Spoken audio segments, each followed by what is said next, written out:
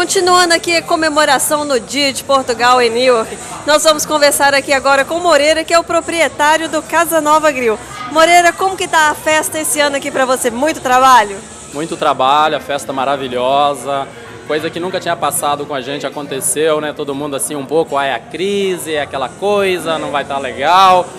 Foi a melhor festa de Portugal em 14 anos que a gente teve, maravilhosa, sem problema, apoio total da polícia, apoio total de todo mundo. A, a, comunidade brasileira, principalmente a nossa, que é o meu lado, comportou espetacularmente legal. Estou muito orgulhoso, sabe, de, de tudo, de ter sido o, o, o mentor principal da, do lado brasileiro deste ano. Muito orgulhoso mesmo.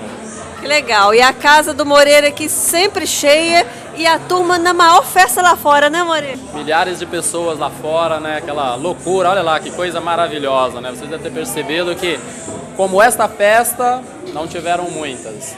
A Fundação Coutinho está de parabéns por tudo que fizeram, pela luta, toda a comunidade, de parabéns mesmo.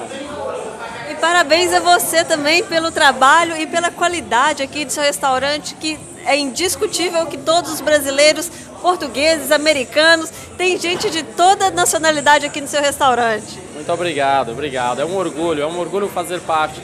Casa Nova é meu, mas na realidade não é meu, é da comunidade, né? É um orgulho. Muito obrigado. Obrigada a você.